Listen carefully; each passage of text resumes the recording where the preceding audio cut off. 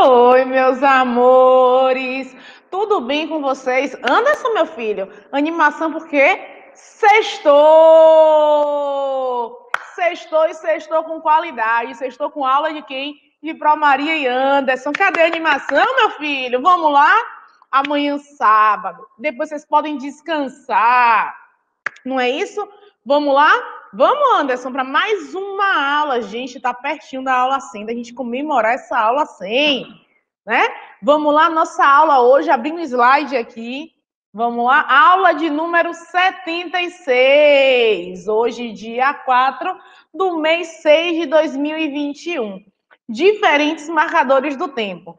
Vocês já repararam que, inclusive, né, nós colocamos sempre a data nos slides e que às vezes, né, a gente fala assim, ah, a data estava errada, aconteceu alguma coisa, porque isso é muito importante para que você que está aí assistindo se situe e faça o quê? Olha, a atividade que meu professor está mandando e a atividade, e aqui a aula da Pro Maria com Anderson, não é isso? Isso é absurdamente importante. Então, o tempo, gente, está o tempo inteiro com a gente né? No relógio, no amanhecer, no dormir. Olha, a mãe fala assim: oh, tá na hora de dormir. Olha, vim para casa, não tem mais tempo para ficar aí fora, não. Quando podia, né? Porque agora não pode nem para fora. Então vamos lá. Nossa área de conhecimento interdisciplinar nessa aula de hoje é matemática e ciências da natureza, né? Vamos lá, terceiro ano. O que será, Anderson, que vamos falar hoje em matemática? Temos aqui um relógio. Será que mais uma vez vamos falar, vamos falar sobre as horas? Eu acho que talvez, quem sabe, porém, contudo, tô na dúvida. Vamos lá. As estações do ano são, vocês já sabem, não é isso? Primavera, verão, outono e inverno. Lembra que a Pro deixou, inclusive, uma atividade para vocês? Lembram? Eu tô lembrada. Que eu disse o quê? Olha, eu quero que vocês olhem aqui no hemisfério sul, que é o nosso, né? Quando é que começa a primavera? Quando é que ela termina?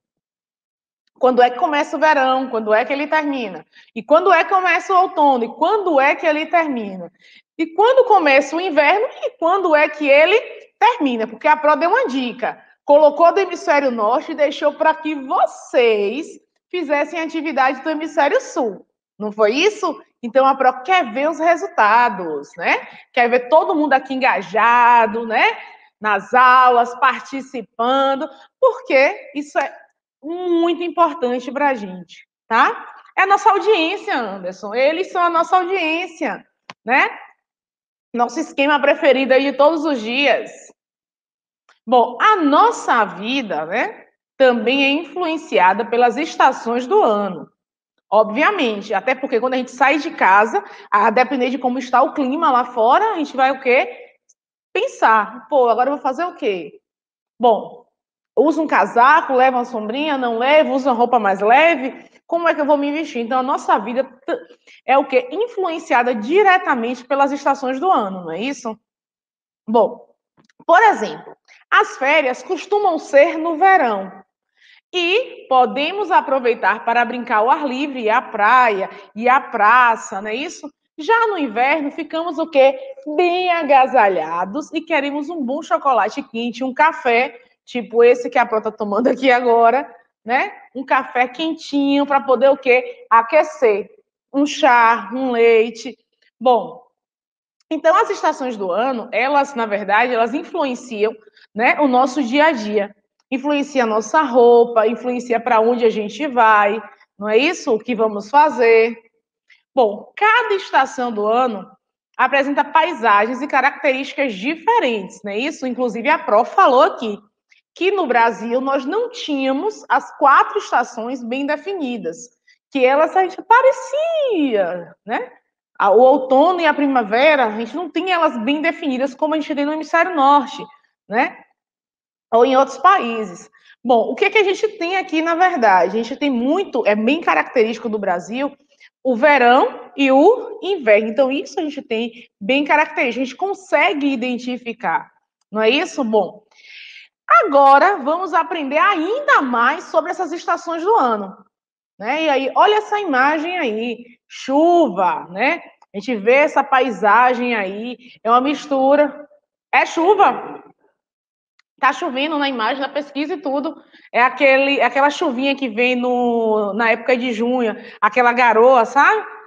É, e aí percebam que mesmo com essa, com essa chuva bem fininha, a árvore ali atrás ela já está quase sem folha. Então seria bem que uma mistura do inverno aí com outono.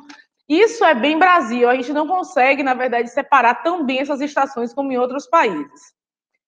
Bom, o Brasil é um país muito grande, né? E a maior parte deles é localizado num lugar onde o calor é muito intenso, principalmente para a gente que está aqui na Bahia, que fica no Nordeste. Mas você sabe explicar por que, que a gente está em um local tão quente? Vamos entender melhor sobre isso. É porque o quê? Nós estamos próximos do Sol, os raios de Sol, na verdade, pegam mais na gente. O que é está acontecendo?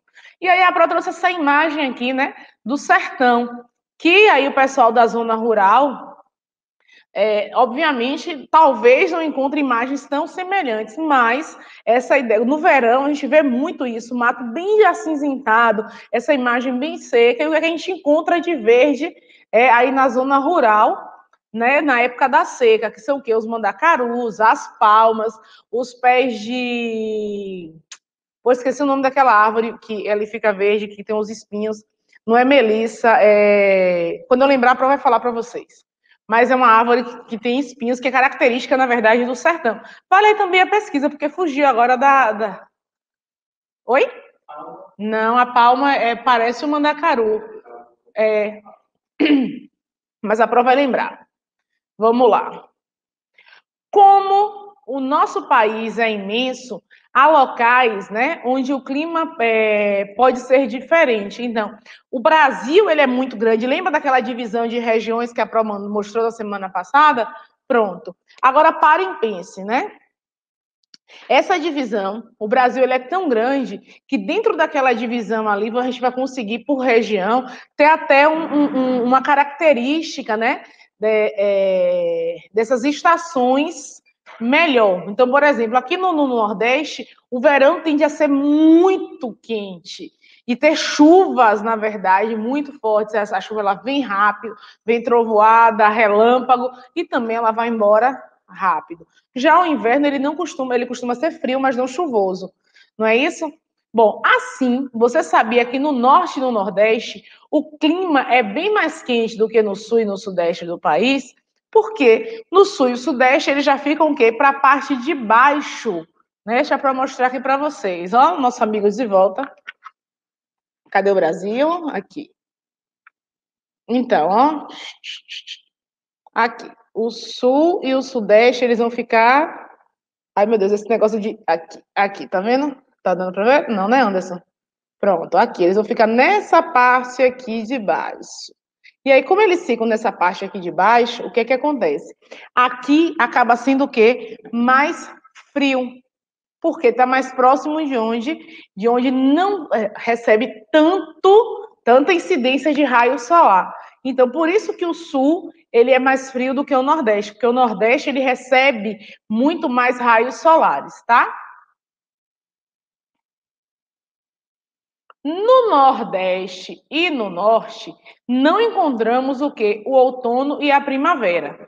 Já no Sul, já botei por sua causa, o inverno é bem mais rigoroso e há locais em que a neve e as geadas ocorrem. A Pro colocou essa foto de gramado aqui, porque Anderson já foi lá, tá?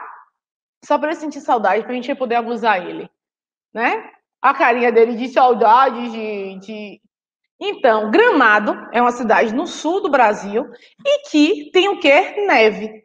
Por quê? Porque lá no sul, os raios solares, eles chegam o quê? Bem mais fracos do que aqui no Nordeste. Então, aqui no Nordeste é só calor para nós e lá para eles frio, tá?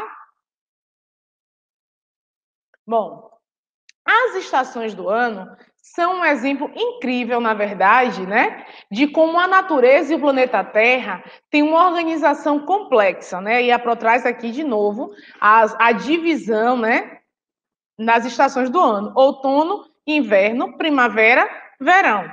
Lembrando que nós temos que inverno e verão bem definidos, outono e primavera nem tanto assim, Tá? O que não quer dizer que as árvores não percam as folhas, que as árvores não deem flores ou frutos. Tem sim, mas não tem essa característica de você, ai, tô passando na rua e tá tudo tão florido, aquele negócio bem filme, sabe?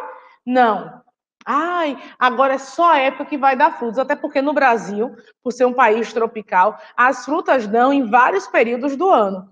Então, tipo, agora é, é um período de uma fruta, né? Acho que jaca, é, no final do ano temos aí caju, manga, e aí as frutas, na verdade, elas acabam que meio que dando quase que o ano inteiro, por ser um país tropical, né? Moro num país tropical, abençoado por Deus e bonito por natureza, mas que beleza! Vamos lá. É, a cada três meses, a paisagem muda significativamente e, para nossa surpresa, quase nunca conseguimos definir só olhando quando uma estação acaba e outra começa. Então, só de olhar na rua, digo: hum, já sei, verão. Uh, já sei, inverno. Não, a gente precisa, né?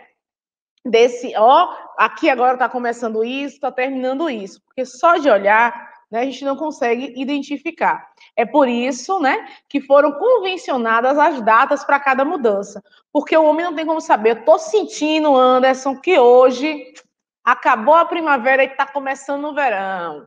Não, a gente não tem como. A gente precisa dessas datas especificadas. Assim como também a gente aprende, sabe o que, Anderson? As datas do que comemorativas, né? O aniversário, a gente tem várias datas aí comemorativas durante o ano, certo? E que isso é possível porque, Anderson, porque temos o calendário. Sem o calendário, a gente não iria conseguir. Então, aí a gente tem um relógio que é importante para o tempo, a gente tem um calendário, não é isso? Bom, você, algum dia, né, é, você já se perguntou como foi feito o calendário? Você já se perguntou como foi feito? Por que, que os meses possuem 30 ou 31 dias, com exceção de fevereiro? Como foram escolhidos os nomes dos meses? Você já parou para pensar nisso? O que você acha de conhecer um pouco mais sobre a história do calendário? Então fica aí as curiosidades, né, deixadas pela Pro e por Anderson. Primeiro, você já conseguiu, já sabe como é que foi feito o calendário? Nosso calendário gregoriano, que a Pro falou, por que será que ele tem esse nome de calendário gregoriano, gente? E aí? Por que, que os meses têm 30 ou 31 dias? Por que, que fevereiro tem 28 e às vezes 29? E o nome dos meses, como é que eles foram escolhidos? E aí? Bom, você já parou para pensar nisso? Se não parou, a hora é agora. Vamos pensar nessas informações que a Pro está passando para vocês. Esses questionamentos, na verdade. E aí, a gente, vocês já vão ter esse tempinho aí para pesquisar, tá? Bom, existem vários tipos de calendário, de vários povos, né? E épocas. Cada um deles possui uma história e significado. E aí, lembra que a Pro trouxe aqui em uma das aulas um calendário maia, e tem o calendário maia, o calendário asteca, o nosso gregoriano. Tem outros tipos de calendário, inclusive esse que está aí na imagem, esse aqui, que é o calendário chinês, que aí ele traz animais, aí é o ano do boi, o ano da cobra, o ano do galo, o ano do macaco. Então, eles possuem um calendário diferente do nosso. Se fôssemos falar de cada um deles aqui, passaríamos muito tempo falando. Então, falaremos dos mais importantes e que deram origem ao nosso atual calendário, que é o calendário que gregoriano. Bom, além do calendário, temos a indicação dos dias, né? É, através do calendário, desculpa, através do calendário temos a indicação dos dias da semana e os meses do ano. Então, olha aqui esse calendário.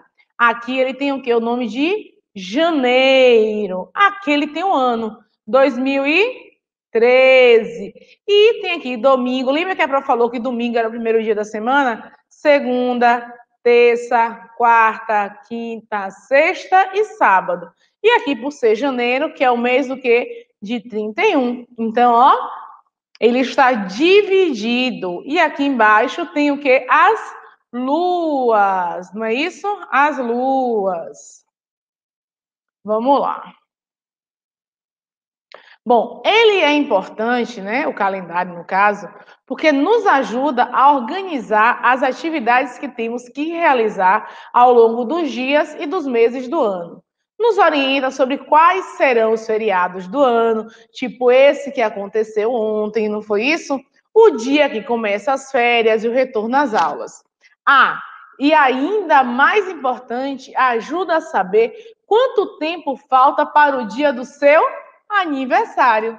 Então, tudo isso é o que? Muito importante. A gente consegue tudo isso através do calendário. Bom, o que foi que aprendemos hoje? Não foi isso? Primeiro, vamos lá, Anderson, para nossa nosso questionário. O que foi que você aprendeu hoje, Anderson? Primeiro, aprendemos que um ano, né, possui 365 dias e esses dias são divididos em quantos meses? 12 meses, certo? Pronto. Aprendemos também que o seguinte, que a cada quatro anos, o ano ganha um dia a mais aonde? Em fevereiro. E de onde é que vem esse um dia? Lembra que a Pro falou que o ano ele tem 365 dias e 6 horas, não é isso? Então a gente irá fazer o quê? 6 mais 6, Anderson, eu tenho 6. Vou somar mais 6, não é isso? 6, 7, 8, 9, 10, 11, 12. 12, de dois anos. Aí eu tenho o terceiro ano, mais 6, 12, 13, 14, 15, 16, 17, 18. Quarto ano agora, mais 6, né? 18, 19, 20, 21, 22, 23, 24. 24 horas formam o quê? Um dia. Então, por isso que a cada quatro anos temos um dia a mais lá em fevereiro. Bom, os meses possuem 30 ou 31 dias, mas fevereiro possui 28 ou 29, como a Pro acabou de explicar. O mês, ele é dividido em semanas, não é isso? A semana que começa no domingo e termina no sábado. Cada semana possui sete dias. Quem são esses dias? Domingo, segunda, terça, quarta, quinta, sexta e sábado, ou seja, sete dias, né? Bom, um dia também possui o quê? 24 horas. E essas 24 horas, elas são divididas em dia e noite. E uma hora, ela vai possuir o quê? 60 minutos. 60 minutinhos. E um minuto vai possuir o quê? 60 segundos. E para entender essa divisão das horas, olha quem a Pro trouxe. Lembra que a gente fez esse reloginho? Pronto, aproveita até aqui para vocês, olha. Pronto, tá enquadrado direitinho, tá? Lembra que a Pro dividiu o relógio, ó? Ela veio aqui, não é isso? Ó, um, uma hora, duas, três, quatro, cinco, seis, aí ela continua. Sete, oito, nove, dez, onze. Então, o que foi que a Pro fez aqui? Ela dividiu né, o relógio dela em 12. Então, esse ponteiro pequeno aqui, ele vai dar a volta o quê? Ó, ele vai passar por cada um desses números duas vezes. Lembra aqui que a Pro escreveu, ó? Olhem aqui, hora e o quê? Qual foi o outro ponteirinho? Foi o que a Pro escreveu? Minuto. Então, temos aqui o quê? Hora e minuto, não foi isso? Pronto. Quando o ponteirinho pequeno ele está no número, no caso aqui, eu vou colocar aqui no número 2, certo?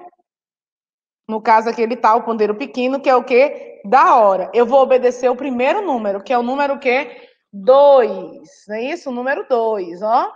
2. Mas o meu ponteiro grande, ele está girando. Vamos imaginar que ele parou aqui.